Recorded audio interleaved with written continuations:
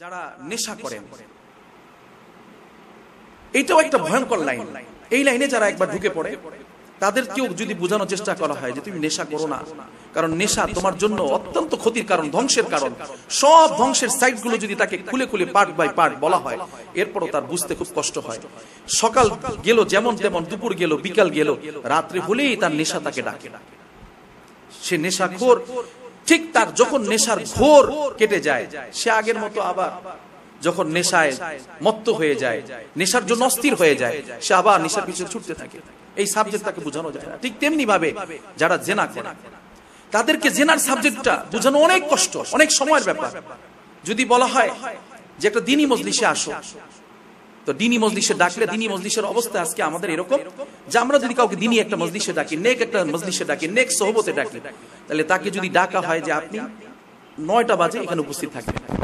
তাহলে দেখা যায় সে এমন টাইমে সেখানে উপস্থিত হয় যখন মজলিস শেষ হয়ে যাচ্ছে। কারণ এই মজলিসের গুরুত্ব তো আমার কাছে নাই। এটা মজলিস শেষ, তখন আমি উপস্থিত হলাম। এটা আমাদের সচরাচর, এটা আমাদের মধ্যে হয়।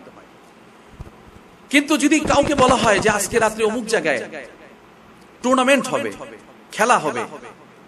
অথবা এইরকম কোন লোভনীয় গুনাহের অফার যদি দেওয়া হয়। কথার কথা যারা জেনায় অভ্যস্ত, তাকে যদি বলা হয় যে আজকে রাত্রে অমুক জায়গায় আসলে সম্মিলিত এভাবে জেনা করা যাবে। তো দেখা যাবে যদি ওখানে টাইম থাকে বারোটায়, যারা মাস্তি করে, মৌজ মাস্তি করে নাইট ক্লাবে আনন্দ ফুর্তি করে, যদি বলা হয় যে নাইট ক্লাবের কার্যক্রম শুরু হবে রাত্র দুইটায়, তো সেই সেখানে দশটা বাজে গিয়ে বসে থাকবে। এমনকি শুধু এটা তো একটা অত্যন্ত ভয়ঙ্কর বিষয়। একটা নাজুক বিষয় বলা যাইতে পারে, যেটা মানুষ এই যে বর্তমানে এখন যে ভিপিএল আইপিএল খেলাধুলা চলতেছে, এটাই যারা মত্ত, নেশায়, যারা বিভোর খেলাধুলা দেখা, তারা এই খেলা দেখার জন্য টিভির সামনে রিমোট নিয়ে দুই চার পাঁচ ঘণ্টা আগে গিয়ে বসে থাকে। খেলা শুরু হবে হয়তো আটটায়, সে আগে বিকাল থেকেই খেলার জন্য টিভির সামনে উপস্থিত। তার মানে হচ্ছে দুনিয়ার কিছু সাবজেক্ট আছে যেটা মানুষকে বুঝাইতে বেশি সময় লাগে না। ঠিক তেমনি ভাবে দুনিয়ায় কিছু গুনাহের কাজ আছে, যে গুনার কাজগুলো অত্যন্ত ভয়ঙ্কর, যেটা মানুষের জন্য বরবাদ এবং ক্ষতির কারণ। শুধু দুনিয়া না, আখেরাতেও ক্ষতির কারণ। কে না জানে যে জেনা করলে এইচআইভি পজিটিভ ভাইরাসের আক্রান্ত হওয়ার সম্ভাবনা আছে। এই রোগে আক্রান্ত হওয়ার সম্ভাবনা আছে। এটা সারা পৃথিবী জানে। তারপরও হরদমে জেনা জায়গায় জেনা চলতেছে। কে না জানে এই বিষয়টা যে যারা সুদ খায়, সুদের যে যতগুলো গুণা ধারাবাহিকভাবে আল্লাহ তালা বর্ণনা করেছেন, তার মধ্যে অন্যতম গুণা হচ্ছে নিজের মার সাথে বিবাহ বন্ধনে আবদ্ধ হওয়া আর আল্লাহ আল্লাহ রসুলের বিরুদ্ধে যুদ্ধ ঘোষণা করা। সমাজ একদম ধ্বংসের দ্বার প্রান্তে পৌঁছে যায় সুদের কারণে। সমাজে বৃষ্টি বন্ধ হয়ে যায়, চেহারা বিকৃতি ঘটতে থাকে, মানুষের ভিতরে মিল মহব্বত করতে থাকে এবং আজাব গজবের জন্য একটা এলাকা, যেই এলাকায় সবচেয়ে বেশি সুদের লেনদেন হয়, ওই এলাকা আজাব গজবের জন্য উপযুক্ত হতে থাকে। কে না জানে এই বিষয়গুলো? শেখ শেখ বাগদাদি, রাহেমাহুল্লাহ, তিনি কখনো বয়ান করলে এমন হইতো যে ওনার বয়ানের আসরে মানুষ তো নিজেদের হালত ঠিক রাখে, মুশকিল হয়ে যেত। তো ওনার জিন্দিগিতে পাওয়া যায় যে উনি সামনে এক হিংস্র কুকুর বসা ছিল। তো বয়ান করতেন আর এই কুকুর দিকে তাকাইতেন। নজর পড়ে যেত। অনেক সময় এটা হয় আমাদের যে আমরা এক জায়গায় বসে আছি, এমন একটা জায়গায় বসে আছি যে জায়গায় আশপাশে তো আমার সামনে পিছনে অনেক মানুষ আছে, কিন্তু এমন একটা জায়গায় আমি বসছি, হয়তো দরজা দিয়ে, জানলা দিয়ে বাইরের দিকে তাকাইলে দেখা যাচ্ছে একটা কুকুর বসা। ওই কুকুরটা এত হিংস্র ছিল, ওই এলাকার ভিতরে সমস্ত কুকুর তার কাছে আসতে পারতো না। কিন্তু শাহেকে বাগদাদি মাঝে মধ্যেই তার নজর কুকুর উপরে পড়তো। তো শাহেকে বাগদাদি রুহানিয়াত কি পরিমাণ ছিল? যে উনি এরকম তাকাইতে তাকাইতে এমন সময় দেখা গেল যে একটা দিন মানুষ খেয়াল করতেছে, সমস্ত কুকুর এখন তার পাশে ভিড়তে পারে, তার ভিতরে যে হিংস্রতা ছিল এটা একদম শান্ত হয়ে গেছে। এটাকে বলা হয় তাসির বা এটাকে বলা হয় আসার। সোহবত একটা আজীব জিনিস। আসলে নেক মজলিসের তো অনেক কদর অনেক কদর। আর বয়ান ও নসিহত, এটা তো এমন এক জিনিস আল্লাহর রসুল সাল্লাহ আলী ওয়াসাল্লাম আমাদের সামনে স্পষ্ট করেছেন নসিহতের ব্যাপারে। নবীজি বলছেন, নসিহত শোনা, নসিহত করা। এটা ইবাদত, এটা আমাদের জন্য ইবাদত। কেন? পৃথিবীতে আল্লাহ তালা যত কিছু বানাইছেন, যা কিছু বানাইছেন, সমস্ত আল্লাহ পাকের মাখলুকাতের ভিতরে সবচেয়ে বাঁকা যে মাখলুকটা, সে মাখলুকের নাম হলো ইনসান। আর ইনসানের দেহের ভিতরে যত কিছু বাঁকা আছে, এটার ভিতরে সবচেয়ে বাঁকা হলো নফস। আর নফস, নসিহত ছাড়া মোটে তাকে সোজা করা যায় না। নসিহত করা হয়েছে নফস সোজা হইতেছে, আবার নসিহত বন্ধ হয়ে গেছে, নফস বাঁকা হইতে শুরু করছে। এই জন্য মানুষের তবিয়ত হচ্ছে, মানুষের অভ্যাস হচ্ছে, তার নফসের তাবে হওয়া। তো নফস যদি বুজুর্গ হয়ে যায়, তো মানুষ বুজুর্গ হয়ে যায়। কিন্তু নফসই এমন অবস্থা যে নফসের ভিতরে গুনার আসর পড়তে পড়তে পড়তে পড়তে, ওটা কালো দাগ হয়ে গেছে। ওটা একদম অন্ধকারে ছেয়ে গেছে। মাসিয়াত হলো জুলমাতুন, অন্ধকার। জুলুম সবসময় অন্ধকার। আর নুরুন আলো। বয়ানের দ্বারা মানুষের দিলের অনেক জুলম, অন্ধকার, মরিচিকা এবং যে কালো দাগ পড়ে, এগুলো আস্তে আস্তে দূর হইতে থাকে। জিকিরের দ্বারা দূর হইতে থাকে। কোরআনের তেলাওয়াতের দ্বারা দূর হইতে থাকে। নিবিড় সোহবতের দ্বারা, কোন আল্লাহওয়ালা, কোন নেক মজলিসের সোহবতের দ্বারা এটা আস্তে আস্তে দূর হইতে থাকে। একদিন হয় না। একটা কাপড়ে ময়লা লাগছে। এক কাঁসাই এই কাপড় থেকে ময়লা সব দূর হয় না। সময় লাগে। এটার পিছনে মেহনত করতে হয়। মেরে মহতারাম দোস্ত বুজুর্গ, খুব বুঝার বিষয়, আজকের এই মাহফিল, এই মজলিস আসলে তথাকথিত বা সচরাচর যে সমস্ত মাহফিলগুলো হয়, এরকম না। এটা একটু ব্যতিক্রম। এখানে বয়ানও মাকসাদ না, আশাও মাকসাদ না, বসাও মাকসাদ না। মাকসাদ একটাই, যে আমরা কি করে আমাদের আখেরা তো পরকাল কে নিরাপদ করতে পারি। আর কি করে আমরা নিজেরা, ওই যে আল্লাহ বলছেন কীভাবে নিজেদেরকে পরিপূর্ণ আল্লাহ পাকের এতাহাতের মধ্যে নিজেদেরকে ঢুকাইতে পারি, ইসলামের ভিতরে নিজেকে কীভাবে পরিপূর্ণভাবে দাখিল করতে পারি, এই মাকসাদের উদ্দেশ্য নিয়ে এখানে আসা, এখানে বসা। মূলত হচ্ছে আমাদের সামনে একটা মিশন আছে। আমরা দুনিয়াতে সবাই মুসাফির। পথিকে যেথায় থাক না কেন, বাড়ি রাখে মনে।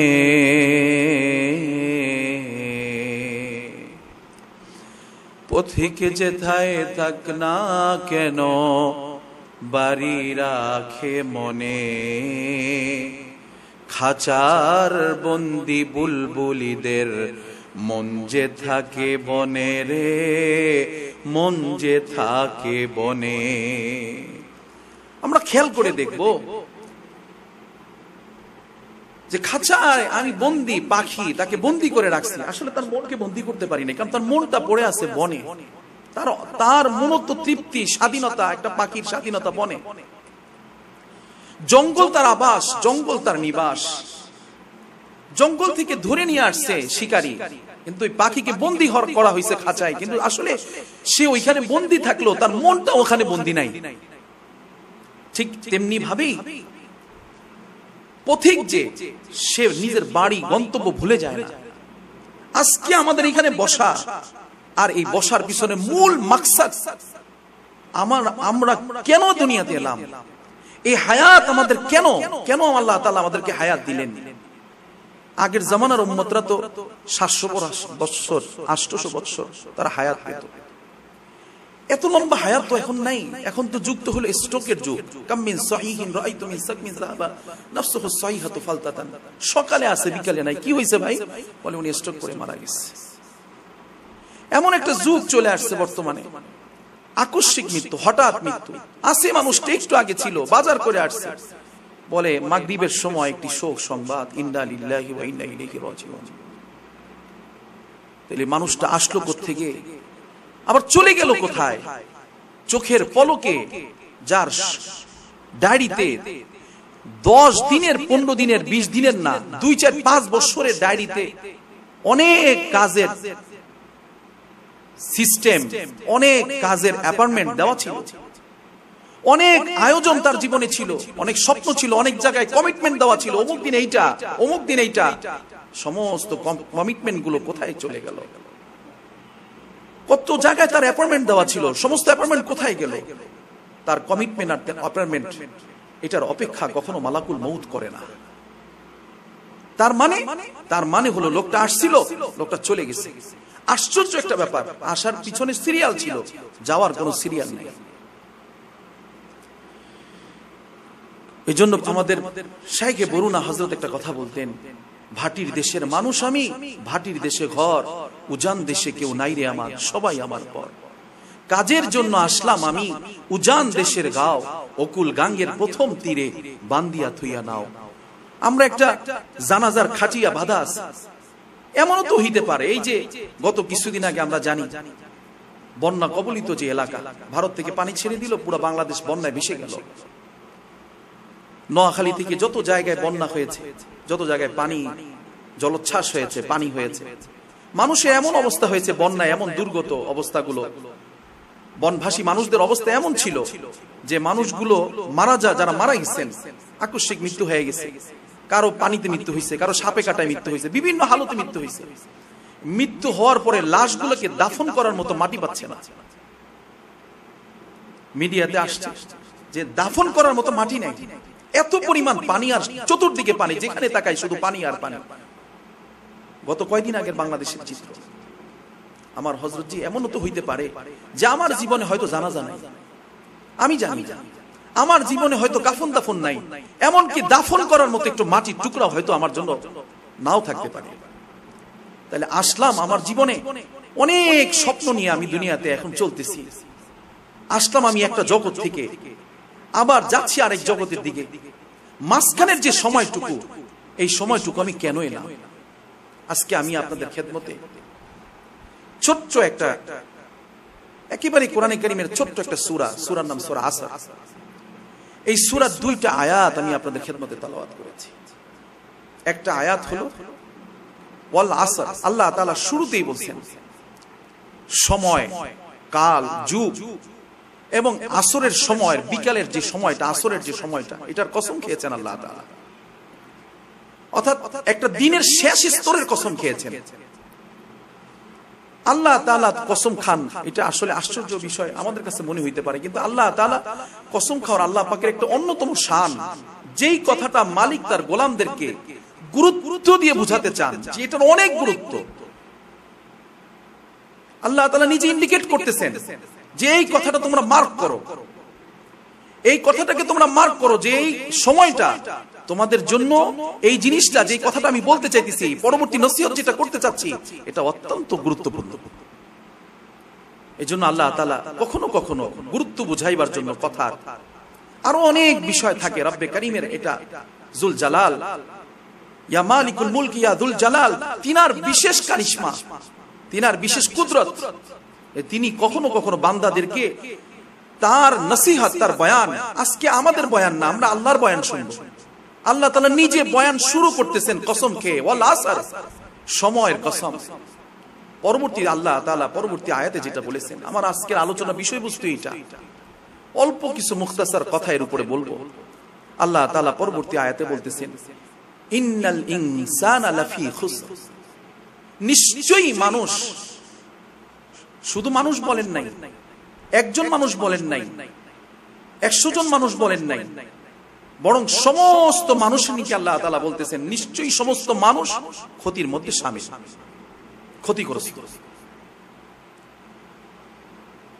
এখন আশ্চর্য একটা ব্যাপার, আসলে এই আয়াতটা বুঝতে গেলে কয়েকটা সাবজেক্ট খুব গুরুত্বের সাথে বলা দরকার। যেমন মানুষ আজকে মানুষের একটা অবস্থা, এমন অনেক কিছু মানুষকে বোঝানো যায়। কিছু কিছু বিষয় আছে মানুষকে বোঝানো অনেক কষ্ট। এটা একটা চ্যালেঞ্জ এই জিনিসটা বোঝানো অনেক চ্যালেঞ্জ যেমন, আজকে দুনিয়াতে মানুষ ব্যবসা বুঝে। অল্প সময় একটা মানুষকে ব্যবসা বোঝানো যায়। কিন্তু সুদের ক্ষতি বিষয়টা এটা বোঝানো যায় না।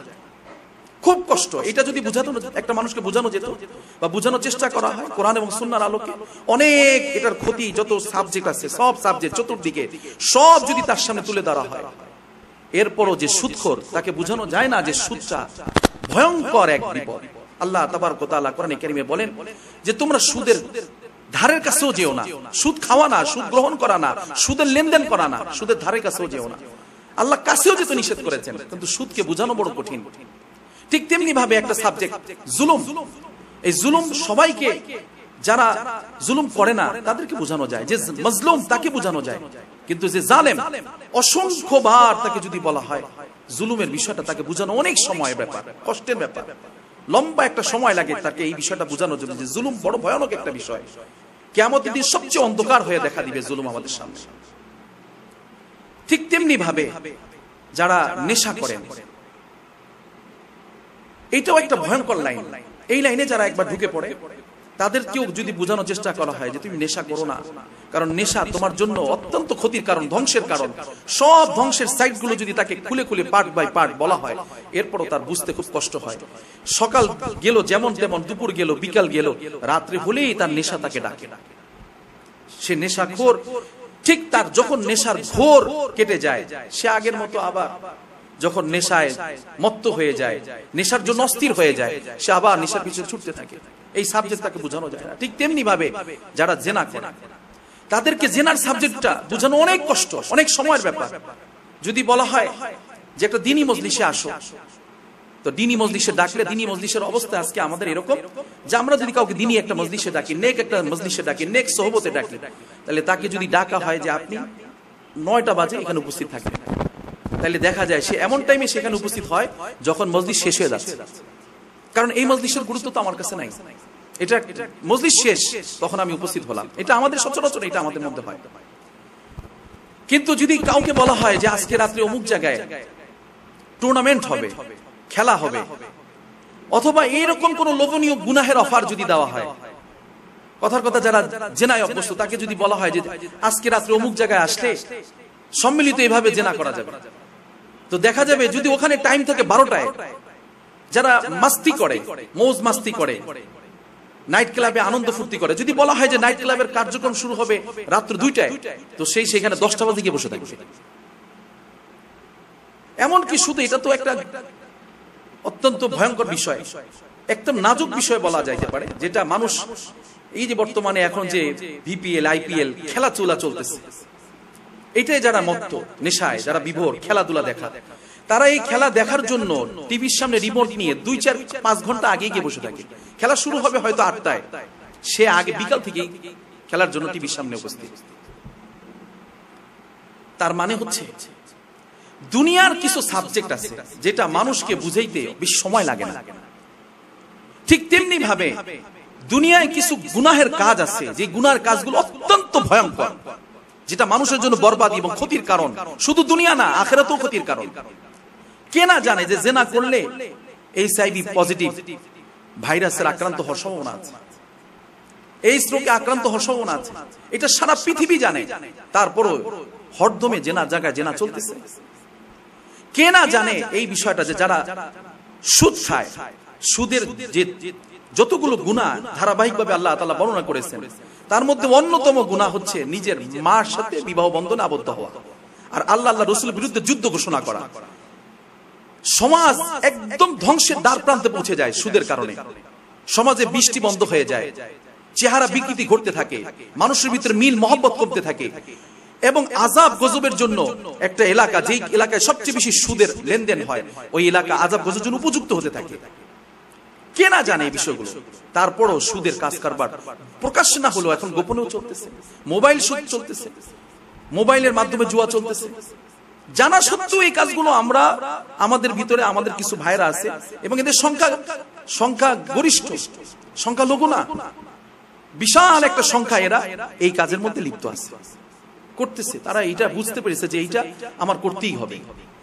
যত ওয়াজ নসিহত বলে যে চোরে না শোনে ধর্মের কাহিনী, হাজারো কাহিনী যদি তাদের সামনে বলা হয়, হাজারো নতিজা যদি তাদের সামনে আনা হয়, হাজারো খারাপের দৃষ্টান্ত যদি তার সামনে পেশ করা হয়, কাজ হয় না। মোহতারাম আল্লাহ তাবারকতালা বুঝতে পেরেছেন যে বান্দা তো এমন, বান্দা হাজারো বলা হবে বান্দাকে যে বান্দা তোমার হায়াতের অনেক মূল্য, অনেক দাম। এই যে দুনিয়ার এই সময়টা অনেক মূল্যবান। আল্লাহ রসুল সাল্লাম বলেন, আমার উন্মতের মধ্যে দুইটা বিষয়ে তারা সবচেয়ে বেশি অবহেলা করতেছে। নম্বর এক, একটা হলো অবসর সময়। যে সময়টা আমার হাতে পাই এই সময়টাকে আমি কোন কাজে ব্যয় করা দরকার? যখন আমি ব্যস্ততায় পড়ে যাই, তখন অনেক কাজ করতে পারি না। কিন্তু যখন আমি অবসর সময় পাই, আরেকটা হচ্ছে সুস্থতা। যখন আমি সুস্থ থাকতেছি, তখন আমি নামাজ পড়তে পারতেছি না। তখন আমি গুনার পিছনে ছুটতেছি। রাত জেগে ফেসবুক চালাচ্ছি। আমার ভাই একটু আগে বলে গেছে, রাত জেগে ফেসবুক চালাচ্ছি। আমার শরীরে শক্তি আছে, আমি গুনাহের কাজে লিপ্ত হইতেছি। আজকে আমার শক্তি আছে জেনা করার, আমি জেনায় লিপ্ত হইতেছি। আজকে আমার মানুষের গায়ে আঘাত করার শক্তি আছে, আমি জুলুম করতেছি। তার মানে আমি এই কাজগুলো বারবার কেন করতেছি? যে কাজগুলো আল্লাহর অসন্তুষ্টি, আল্লাহ আল্লাহ রসুলের নাফরমানির পথ, অসন্তুষ্টির পথ কেন করতেছি? বোঝা যাচ্ছে যে আমি যখন আমার শরীরে শক্তি থাকতেছে আর যখন আমার শরীরে আমার জিন্দিগিতে হায়াত থাকতেছে, এই দুইটার কদর আমি সহজে বুঝতেছি না। এই জন্যই আল্লাহ তাবারক তাআলা শুরুতে কসম খেয়েছেন, ওয়াল আসর ইন্নাল ইনসানা লাফি আল্লাহ তাআলা নিজে বলতেছেন হে আমার বান্দারা, পৃথিবীর যত মানুষ আছে, যত ইনসান আছে, সমস্ত ইনসান ক্ষতিগ্রস্ত। তাফসীরে ভিতরে লেখেন, এই যে ছোট্ট একটি সূরা, সূরার নাম সূরা আসর। হযরত সুফিয়ান সাউরি রাহমাহুল্লাহ বলেন, গোটা কোরআনের যতগুলো আল্লাহ তালা সুরা দিয়েছেন 114টি সূরা সূরা ফাতিহা থেকে সুরা নাস পর্যন্ত, সমস্ত আয়াতগুলো, সমস্ত সূরাগুলো যদি মানুষ একটু নজর দেয় তাহলে যা পাবে। একটা ছোট্ট সূরা বের করে নিলে পুরা গোটা কোরআন যা বয়ান করেছে, আল্লাহ কোরআনের মাধ্যমে যা পৃথিবীবাসীকে বুঝাতে চেয়েছেন, সবটাই মাত্র ছোট্ট একটা সূরার ভিতরে চলে আসছে। আর সেই সূরাটার নামই হলো সূরা আসর এই সুরার দিকে যদি কোনো মানুষ তাকায়, সে ইনসান যদি ছোট্ট একটা সুরার দিকে তাকায়, সূরা আসর তার নিজের জীবনে এবং তার ব্যক্তি জীবনে, পারিবারিক জীবনে, তার আশপাশে যারা আছে, সকলকে নসিহত নেওয়ার জন্য, বিশেষ করে একটা মানুষের ব্যক্তিগত নসিহত নেওয়ার জন্য আখেরাত পরকালের পথে ছোটার জন্য, এই একটি ছোট্ট সুরাই যথেষ্ট। সুরাটার নাম সুরা আসা এই সুরার যিনি তাফসিল লিখেছেন যারা, হযরত আব্দুল ইবনে আব্বাস রাদিয়াল্লাহু বলেন, এই সুরার ফজিলত এত বেশি, এত গুরুত্ব এত বেশি, যে কেউ যদি তার নিজের জীবনের ব্যাপারে বেখবর থাকে একদম বেখবর। কোনো খবরই নেই যে তার এখন জীবন কীভাবে চলতেছে সামনের জীবনটা কি আসতেছে? আর অতীতে সে কি কাটাইছে? এই সবগুলো বিষয় যদি সে গবেষণা করে তাহলে দেখবে যে সুরা আসরের ভিতরে আল্লাহ তাবারক তাআলা তাকে সতর্ক করে দিয়েছেন সর্বোচ্চ সতর্কতা পেশ করেছেন। এই জন্য এই সুরাকে বুঝবার জন্য তাফসীরের কিতাবের ভিতরে এক মুফাসসির এক আমাদের একজন মুফাসির কোরআন, আমাদের অতীতের আকাবি তিনি একদিন এক বাজারে গেলেন। তো বাজারে গিয়ে দেখতেছেন যে আল্লাহর বান্দা খুব চিৎকার করতেছে। চিৎকার করে বলতেছে, ভাই, সেই ব্যবসায়ীর উপরে তোমরা রহম করো। যেই ব্যবসায়ীর মূল ব্যবসার পুঁজি নষ্ট হয়ে যাচ্ছে। রহম করো, রহম।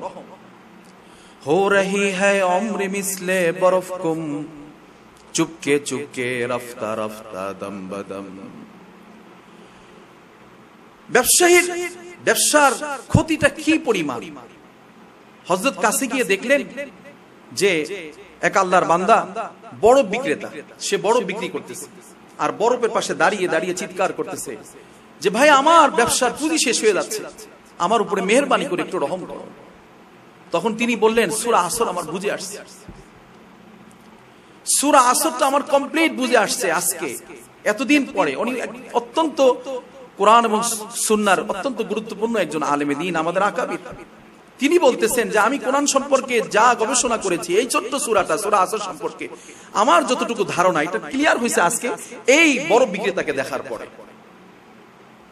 বরফ বিক্রেতা চিৎকার দিয়ে বলতেছে যে, আমার বরফের যে ব্যবসা, সেটা লস হয়ে যাচ্ছে, ক্ষতি হয়ে যাচ্ছে। মেহরবানি করে আমার উপরে তোমরা রহম করো। কোন এক কবি বলছেন এভাবে, খেলায় মজিয়া শিশু কাটায় না বেলা, সময়ের প্রতি কভু করিও না হেলা। আজি যে সময় গত হইল তোমার, আসিবে না পুন তাহা, আসিবে না আর। তাই বলি বৃথা কাল করিও না ক্ষয় আপন কাজ করো, থাকিতে সময়। সময় অত্যন্ত দামি একটা ব্যাপার, অত্যন্ত গুরুত্বপূর্ণ একটা বিষয়। আজকে মানুষের দিকে খেয়াল করলে এই সময় আমরা এখানে যারা দিনী মজলিসে বসছি, অন্তত একজন মুসলমানের সাথে একজন মুসলমানের সাক্ষাতে সত্তর হাজার রহমতে ফেরেস্তা দোয়া করতে থাকে সোহান একজন মুসলমানের সাথে একজন মুসলমানের দেখা, সাক্ষাতে প্রচুর পরিমাণে রহমত, বরকত, নেকির ব্যাপার আছে। একজন মুসলমান, একজন মুসলমানের যদি ছোট্ট একটা জরুরত পুরা করে, নবীজি ওয়াসাল্লাম ফরমান, ছোট্ট একটা জরুরত, যেমন একটা মুসলমান খানা খাওয়ার পরে মানুষের দাঁতের ভিতরে অনেক সময় গোস্তের টুকরা ঢুকে যায়। তো ওই গোস্তের টুকরাটা বের করার জন্য একটু সুতা লাগে অথবা একটা কাঠি লাগে। এতটুকু পরিমাণ সাহায্য কেউ কাউকে করছে। আল্লাহ রসুল সাল্লাম ফরমান যে মসজিদে নববী, আমার মসজিদ, মসজিদে নববীতে এক মাস ব্যাপী এতে কাফ করলে যে সব আল্লাহ তালা তার আমল নামায় দান করে একটি দিনই মজলিস, এটার অনেক দাম। কেননা, এখানে আমার মা বোনরা এক জায়গায় বসেছেন পর্দার ভিতরে। আমরা যারা পুরুষ মানুষ এক জায়গায় বসেছি। প্রত্যেকে আমরা মুসলিম। আমাদের ইমান আমাদের আকিদা হচ্ছে কালিমা তৈবা, লা ইলাহা ইল্লাল্লাহ, মুহাম্মাদুর রাসূলুল্লাহ। আমরা এই রশিতে বাধা আর এই বাধা থাকার কারণে আমরা এখানে যে বসেছি, একজনের সাথে একজনের দেখা, সাক্ষাৎ, কথাবার্তা, একজনের সাথে মুসাফা মোয়ানাকা প্রচুর পরিমাণে নেকি আর বরকত আমাদের হাসিল হইতেছে। ঠিক ঠিক ঠিক। একটা চায়ের স্টলে প্রচুর পরিমাণে মানুষ সেখানেও একটা মজলিস হয়ে গেছে সেটা আড্ডা চলতেছে। আবার আপনি খোঁজ করলে দেখবেন যে কেউ কেউ না কেউ এই সময় রাত্রেবেলা, রাত যত গভীর হয় কিছু মানুষ মুসল্লার দিকে যায়, আর রাত যত গভীর হয় কিছু বান্দা আছে যারা রাত গভীর হলে ফেসবুক ইন্টারনেটে মোবাইলের জগতে হারিয়ে যায়। আমার ভাই একটু আগে বলতেছিলেন, আজকে আমাদের তো এমনও হয়েছে মোবাইলের জামানায় আমরা এখন এক একজন মানে আমার এক ভাই কদিন আগে বলতেছিলেন যে, মোবাইল আমাদেরকে কি দিলেন মোবাইল আমাদেরকে অনেক কিছু দিয়েছে। এটার ব্যাখ্যা তো আমরা অনেকে অনেকভাবে করতে পারি। কিন্তু আমার ভাই একটা গুরুত্বপূর্ণ কথা বলছে, মোবাইল আমাদেরকে যা দিয়েছে, তার চেয়ে বেশি নিয়ে নিয়েছে। সবচেয়ে ভয়ঙ্কর যেটা আমাদেরকে উপহার দিয়েছে, মোবাইল আমাদেরকে সময়ের ব্যাপারে, সময় ক্ষেপণের ব্যাপারে, সময় নষ্টের ব্যাপারে সব থেকে বেশি হায়াতের মূল পুঁজি এই যে আমাদেরকে আল্লাহ তালা কোরআন করিমের আয়াতের মধ্যে বললেন, পুরো পৃথিবীর মানুষ ক্ষতিগ্রস্ত। কেন ক্ষতিগ্রস্ত? বলে যে পৃথিবীতে যত ব্যবসা আছে, কেউ টাকা দিয়ে ব্যবসা করতেছে, কেউ বুদ্ধি দিয়ে করতেছে, তো বুদ্ধি যদি আজকের বুদ্ধির কাজে না লাগে, আগামীকাল আবার নতুন করে বুদ্ধি পাকাবে। ব্যবসার পুঁজি ছিল, টাকা টাকা আজকে শেষ হয়ে গেছে ব্যাংকের থেকে লোন নিবে, কারও কাছ থেকে হাওলাত নিবে, কোনো না কোনো আয়োজন হবে তার।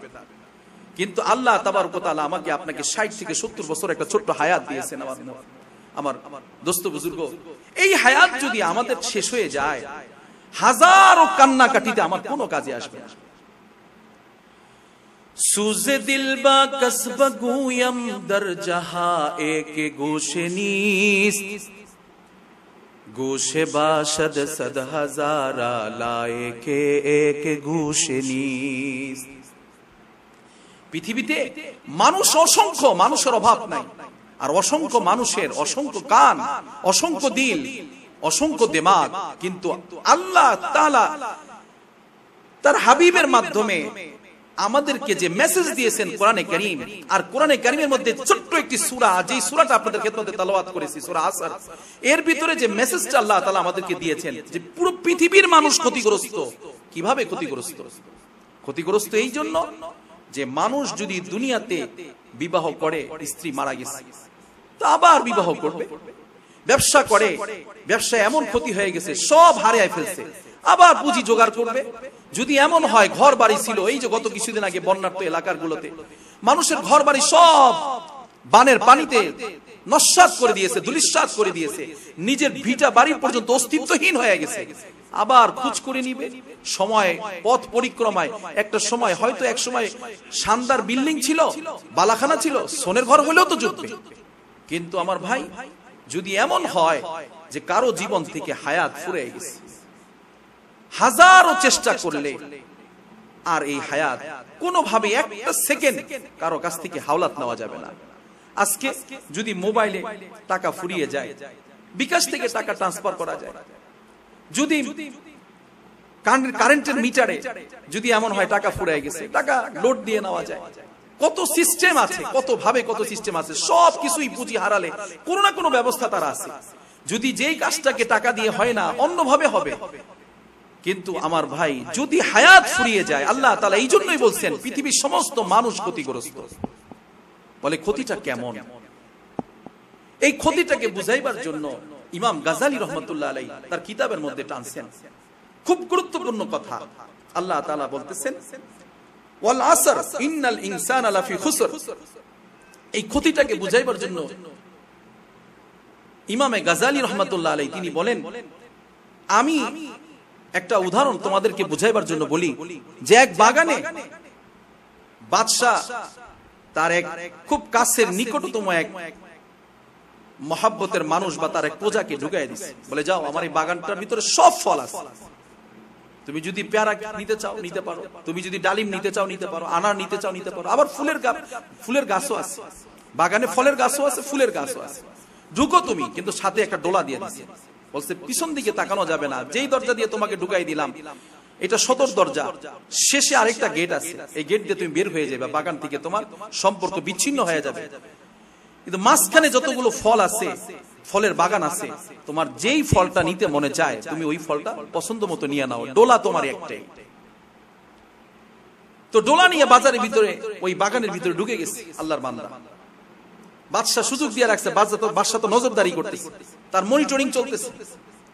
একদিক দিয়ে ঢুকে আল্লাহর বান্দা, প্রথমে দেখে যায় পেয়ারা। সামনে তাকায় দেখে যে পেয়ারার পরে দেখা যেতেছে সবেদা। চিন্তা করল, না, পেয়ারা নিব না, সবেদার দিকে যাই। এভাবে সবেদার পরে দেখে যে আপেল। বলে না আপেল নিব না সামনে দেখে যে কমলা। কমলা নিতে গেছে পরে দেখে যে আঙ্গুর। না আঙ্গুর নিব না সামনে যাই দেখে আনার। এইভাবে করতে করতে লাস্টে গিয়ে দেখে একটা পিছনের যত ফল গাছ যা ছিল আপেল পেয়ারা আনার কলা নাশপতি যা বলেন কোনো কিছুই এখন আর সামনে নাই। এখন শুধু সাধারণ গাছ। এবং একেবারে শেষ প্রান্তে সে চলে আসছে দরজাও চলে আসছে। সময় বেশি নাই। এই জন্য শাইকে বাগদাদি রহমাহুল্লাহ বলেন,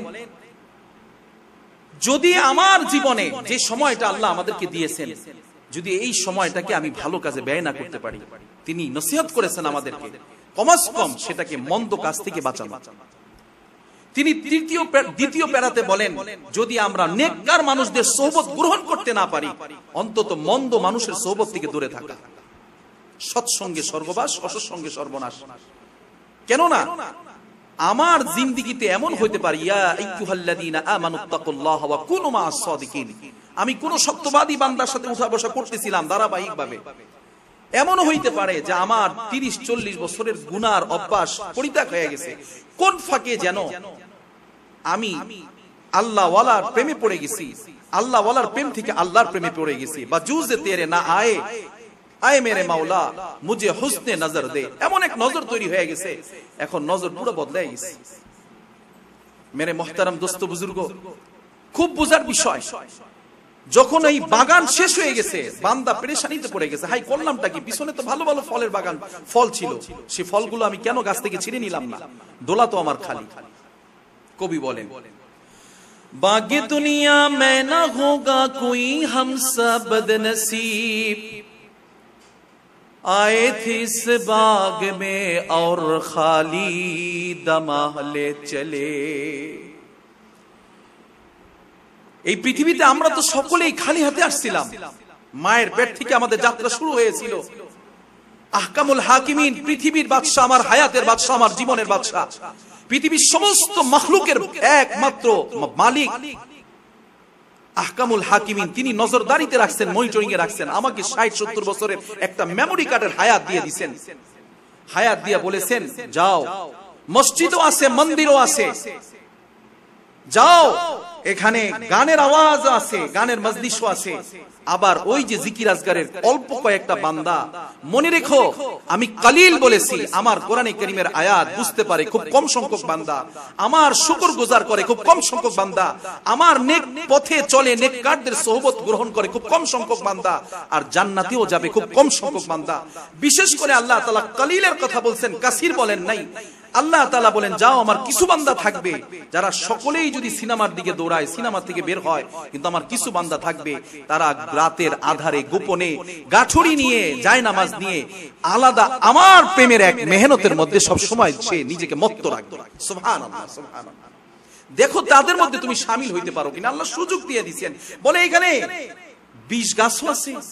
এখানে ভালো ফল গাছও আছে, আবার মন্দ ফলও আছে। ওই যে আদম আলাই ইসলামকে শয়তান ইবলিশ শয়তান গন্ধম খাওয়াই দিল।